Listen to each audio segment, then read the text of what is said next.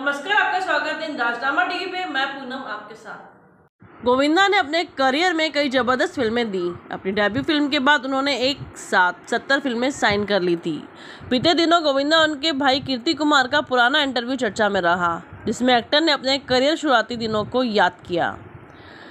विनय पाठक के चेट शो हर घर कुछ कहता है। मैं गोविंदा ने बताया था कि करियर की शुरुआत में उनके पास इतने ज़्यादा पैसे आ गए थे कि उन्हें समझ नहीं आ रहा था कि उन्हें कहाँ खर्च करें। उस दौरान गोविंदा ने सोचा था कि वो इन पैसों से सौ रिक्शे खरीद लेंगे। कीर्ति कुमार ने बताया था कि समय के साथ वो गोविंदा के सेक्रेटरी बन गए और उन्हें कई फ़िल्में एक साथ साइन करवा दी, क्योंकि वो जल्द से जल्द पारिवारिक गरीबी से भरना चाहते थे। कीर्ति ने उस दौर को याद करते हुए बताया था कि एक दिन गोविंदा ने अपने सारे पैसे और बैंक डिटेल इकट्ठा किए और वो ये पता लगाने की कोशिश करने लगे कि आखिर इन पैसों को कहाँ खर्च किया जाए।